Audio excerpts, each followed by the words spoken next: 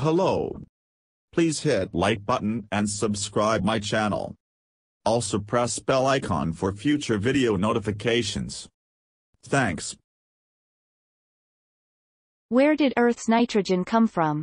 Rice University scientists show one primordial source of the indispensable building block for life was close to home.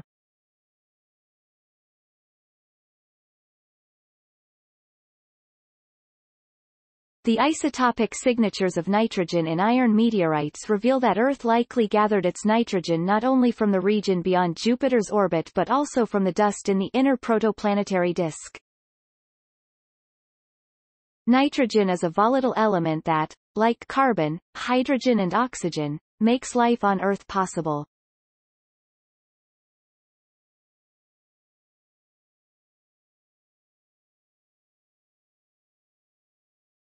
Knowing its source offers clues to not only how rocky planets formed in the inner part of our solar system but also the dynamics of far-flung protoplanetary disks. The study by Rice graduate student and lead author Damanveer Grewal, Rice faculty member Rajdeep Dasgupta and geochemist Bernard Marty at the University of Lorraine, France, appears in Nature Astronomy. Their work helps settle a prolonged debate over the origin of life essential volatile elements in Earth and other rocky bodies in the Solar System. Researchers have always thought that the inner part of the Solar System, within Jupiter's orbit, was too hot for nitrogen and other volatile elements to condense as solids, meaning that volatile elements in the inner disk were in the gas phase, Grewal said. Because the seeds of present-day rocky planets, also known as protoplanets, grew in the inner disk by accreting locally sourced dust, he said it appeared they did not contain nitrogen or other volatiles, necessitating their delivery from the outer solar system. An earlier study by the team suggested much of this volatile-rich material came to Earth via the collision that formed the Moon. But new evidence clearly shows only some of the planet's nitrogen came from beyond Jupiter.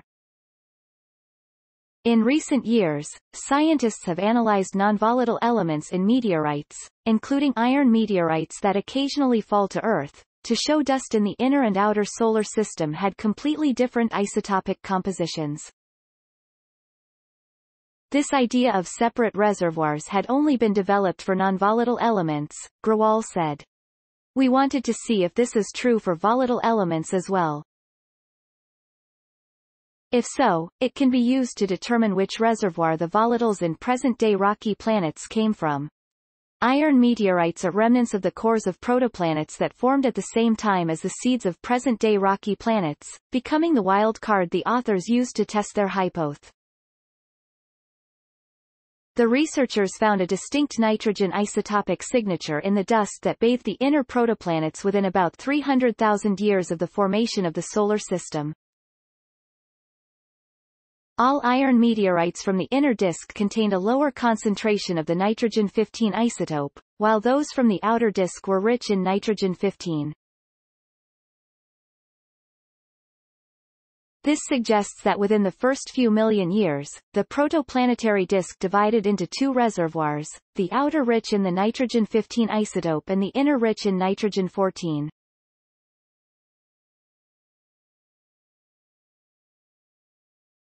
Our work completely changes the current narrative, Grewal said. We show that the volatile elements were present in the inner disk dust, probably in the form of refractory organics, from the very beginning. This means that contrary to current understanding, the seeds of the present-day rocky planets, including Earth, were not volatile-free. Dasgupta said the finding is significant to those who study the potential habitability of exoplanets, a topic of great interest to him as principal investig. At least for our own planet, we now know the entire nitrogen budget does not come only from outer solar system materials, said Dasgupta, Rice's Maurice Ewing Professor of Earth, Environmental and Planetary Sciences. Even if other protoplanetary disks don't have the kind of giant planet migration resulting in the infiltration of volatile-rich materials from the outer zones, their inner rocky planets closer to the star could still acquire volatiles from their neighboring zones, he said.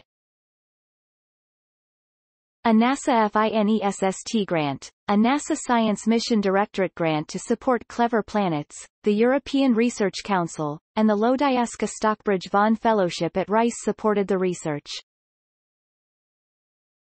Please support my channel to grow by pressing subscribe button and the bell icon. We will notify you technological news. Thank you.